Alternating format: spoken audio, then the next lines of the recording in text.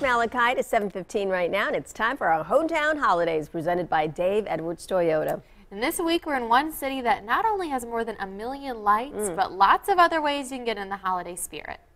7 News' is Christine Scarpelli and photographer Ryan Goodman are in Forest Mm-hmm. City with more. I see you're not on the hayride anymore.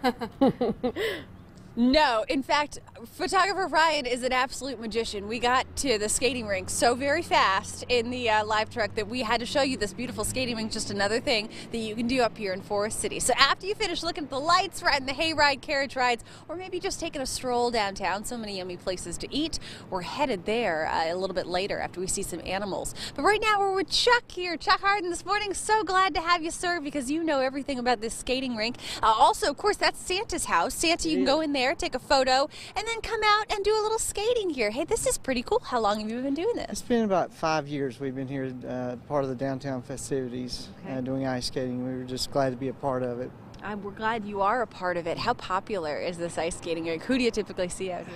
Really, uh, our age group's probably 13 and under, Mm-hmm. but there's a lot of parents starting to venture out there with their kids Oh, and it's yeah? making it a family event. Oh, I love that. Absolutely. Um, okay, so what exactly do you need? Do you need to bring skates? Do you guys provide those? Absolutely not. We got everything that you need. We got the skates, uh, and they just uh, strap them on and start skating. Fantastic. Okay, give me some dates and times that you guys are going to be open out here. Here every Friday, uh, starting at 6 o'clock, Saturdays at 5, and Sundays at 2.